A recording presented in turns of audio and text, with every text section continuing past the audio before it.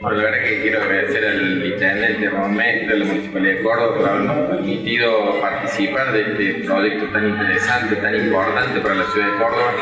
como lo es la preservación y el cuidado del medio ambiente a través de un programa de control de arbolado público, de concientización hacia la comunidad. Así que nos comprometemos a, a que se sumen, porque bueno, desde parte nuestra venimos trabajando y ojalá este programa.